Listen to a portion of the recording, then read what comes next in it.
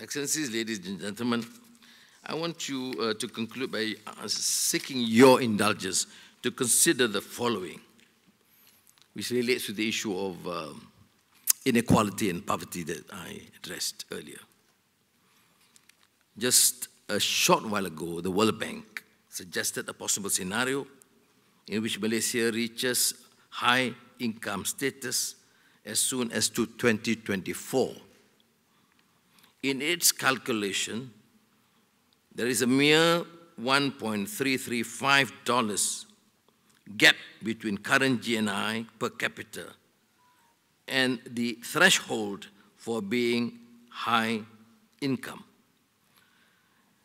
I've never been overtly obsessed with GDPs, even when I was finance minister, because GDP targets is quite constrained and limited in understanding.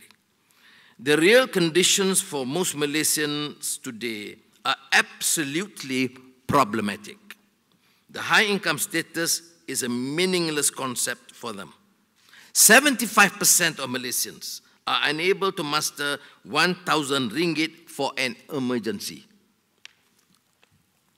I repeat, 75% of Malaysians are unable to muster 1,000 ringgit for an emergency. The majority of Malaysians will run out of cash within one week if they lose access to their income.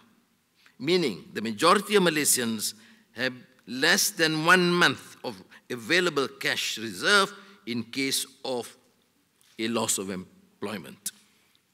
And now uh, the unemployment rate has gone to about close to 800,000 and close to 16% among youth.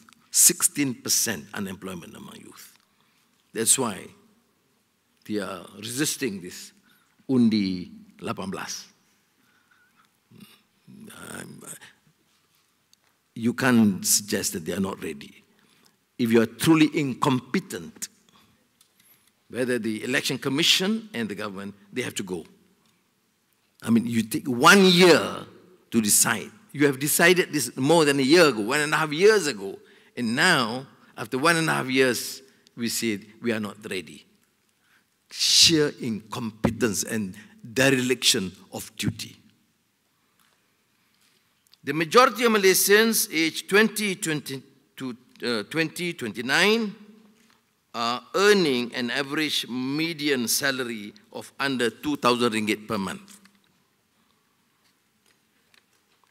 The income gap between Bumiputras and Chinese has more than doubled in 10 years.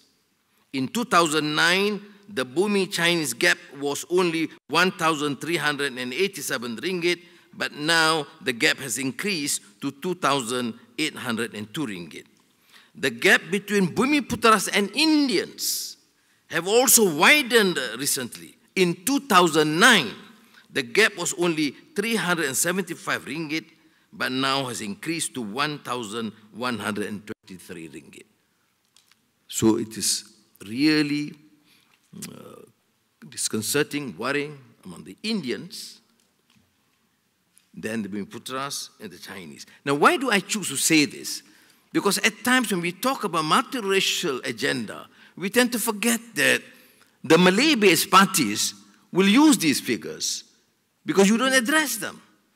That is why I say to alleviate this problem, to deal with this issue, we have then to make it clear and pronounce Malay, Chinese, or Indians, or Sabahans, or Sarawakians particularly the elites, business community, to see that we must address the issue of poverty, irrespective of race.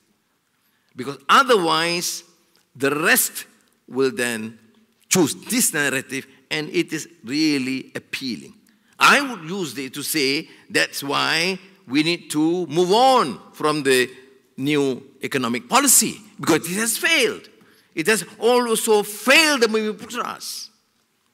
But then we must then introduce a new economic agenda or Malaysian economic agenda that can appeal to the vast majority of our people, Bumiputras and non-Bumiputras, and to showcase a policy that transcends race, there will be some form of gap, acceptable, but this atrocious difference cannot be defended.